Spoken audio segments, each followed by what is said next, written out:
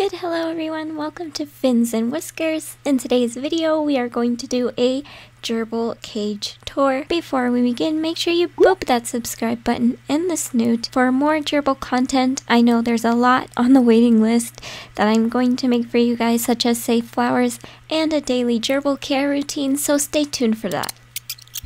So first and foremost, I am going to address the sunlight leaking into their enclosure.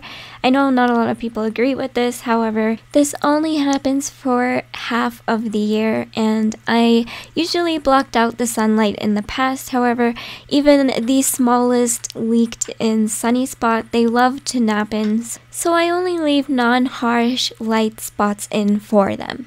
That being said, it's still well ventilated. When the sunlight is out, I still leave the window open so that air circulates the room as well as my door. And so I use egg crate as the lid and I do have coroplast to diffuse some of the light and also providing a block and so they cannot bite the egg crate so it just works all, all around they still have open spaces where the air can circle through. They just can't get to that area and chew the egg crate, which would be terrible for them.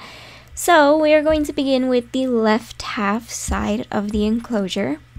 I blocked off the side of the dividers with rocks, heavy rocks so they can't bite the coroplast, but on this side, this is where I keep their sand bath, their salad dish, water dish, and their wheel and they can use this without getting bedding all over it as they would if the divider was not there. Trust me, I have been there, and so that's why the divider exists. I've had no problem with them being territorial at all. They are siblings, and so that does make it a bit better. However, on this side, I made sure to also make sure that the rocks weighed more than they did, so they really cannot move those rocks. There's a lot of smaller ones that they can move and push around, but there are heavy rocks on both sides of the enclosure that they just cannot move, so they will not be able to get to the coroplast at all.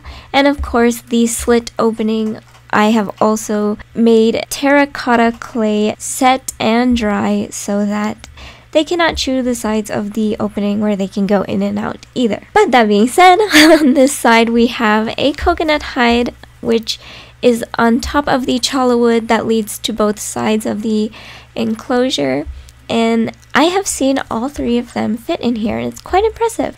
Since this part of the enclosure is completely divided, I've also poured out all the Reptisand and so they have sand in this area and I have seen them play and use the sand more than ever so it really worked out having just sand completely all over the space of this floor. It's not a big deal. I will have to sift the sand now and again but that's something I did anyway. And Beanie has made it a mission to try and escape this prison he's made, but it's not going to work. and we have a 9.5 inch wheel, and they love using it. So I know a lot of people are concerned about them peeing on the wheel, so I always keep carton paper and cardboard covering the circle of the wheel so that if they do pee, it's easily replaceable and affordable. So that has worked a lot because they do pee in my experience. It also isn't blocking anything they would be interested in chewing, so they don't chew it either.